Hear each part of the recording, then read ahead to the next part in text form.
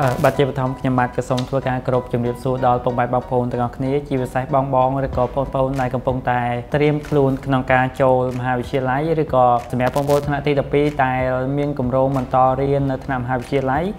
ក៏អាចមើលវីដេអូនេះបាន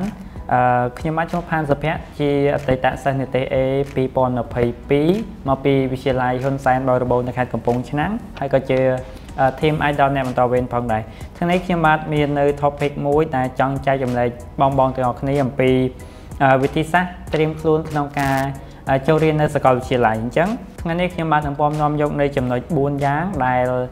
នឹងធ្វើការចែកចម្លែកជូនទៅដល់បងបងក៏ដូចជាបងប្អូនទាំងអស់គ្នាក្នុងការត្រៀមខ្លួនឲ្យរួចរាល់សម្រាប់ការចូលមហាវិទ្យាល័យបាទអញ្ចឹងចំណុចទី1គឺចង់ឲ្យបងប្អូនឬក៏បងបងទាំងអស់គ្នាផ្ដោតទៅលើខ្លួនឯង ពីព្រោះថានៅពេលដែលយើងចូលថ្នាក់មហាវិទ្យាល័យគឺខុសពីយើងរៀននៅវិទ្យាល័យ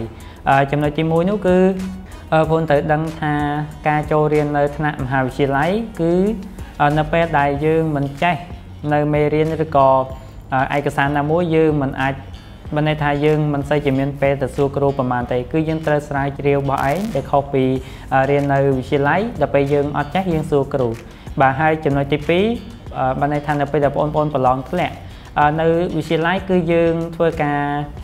ប្រឡងសងធម្មតាឬក៏លោកគ្រូអ្នកគ្រូគាត់បន្ថែមបន្ថយបន្ទុកបន្តិចទៅគឺជាប់ហើយក៏ប៉ុន្តែនៅពេលដែលយើងចូលមកដល់ថ្នាក់មហាវិទ្យាល័យនៅពេលដែលយើងប្រឡងធ្លាក់នៅមុខវិជ្ជាណាមួយគឺតម្រូវយើងបង់លុយសងនេះគឺជាចំណុចពិសេសសម្រាប់បងប្អូនឬក៏បងបងដែលត្រៀមខ្លួនមុននឹងចូលថ្នាក់សាកលវិទ្យាល័យគឺយើងត្រូវតា អឺត្រៀមខ្លួនត្រៀមកាយត្រៀមចិត្តធ្វើម៉េចឲ្យសមត្ថភាពរបស់យើង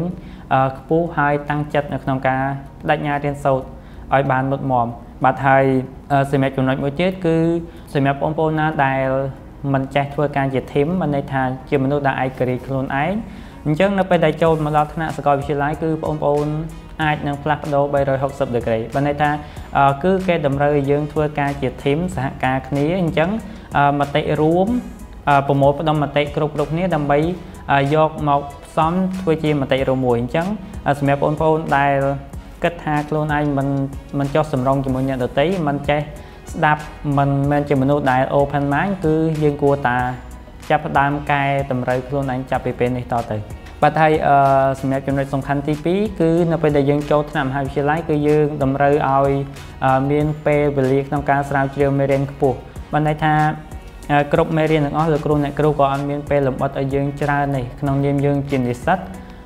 យើងត្រូវតែមានពេលស្វ័យសិក្សាព្យាយាមស្រាវជ្រាវខ្លួនឯងទាំងភាសាអង់គ្លេសឬក៏ភាសាខ្មែរហ្នឹងដើម្បីជាទុនមួយបង្កើននៅពុទ្ធិរបស់យើងឲ្យខ្ពស់